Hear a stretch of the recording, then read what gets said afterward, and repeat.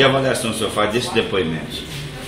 Bom, é, o, o maquinista, né, o controlador lá do acesso, lá da o porteiro, né, que controla lá a sinalização, todos são unânimes nos seus depoimentos, ou seja, o maquinista fez todos os procedimentos né, e que infelizmente, é, na opinião deles, na ouvida deles, o motorista do ônibus é quem invadiu inadvertidamente a via. O que é que funciona e o que é que não funciona?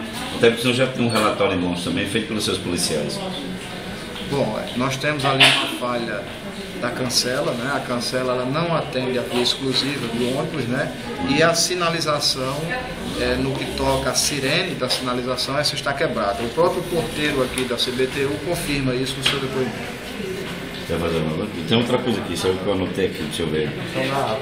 É, com relação à árvore que poderia atrapalhar, por exemplo, atrapalha o ônibus atrapalha o trem? Ou os dois ou não atrapalha ninguém? Nós vamos, é, durante essa semana, ouvir de novo o motorista do ônibus. Né?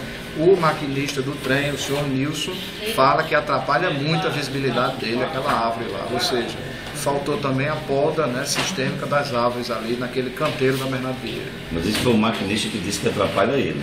A princípio o maquinista, né? Nós vamos ouvir de novo, né? Nós vamos requerir, melhor dizendo, o nosso o condutor do ônibus, né? Para a gente aferir também se ele teve essa dificuldade. Né? E com relação ao depoimento que o senhor teria de uma testemunha que estaria em um daqueles veículos ali parado à direita, e muitos carros estão parados enquanto que uns avançou a faixa. O que, que ele diz no depoimento? Bom, ele confirma que a cancela funcionou, a cancela estava baixa, e que o semáforo realmente estava verde para eles, mas por conta da cancela, eles respeitaram, obviamente, a sinalização. Já existe uma tendência de que há um culpado ou foi um, realmente um acidente? Sexta-feira eu acho que a gente já tem como concluir isso. Eu vou esperar só um pouco mais, né? Mas eu acredito que até sexta-feira nós já tenhamos essa, esse relatório final. Havendo culpabilidade, que tipo de crime pode ser aí?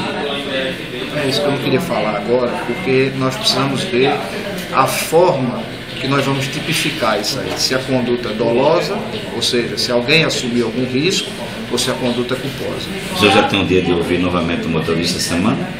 Nós estamos querendo ouvir quinta-feira.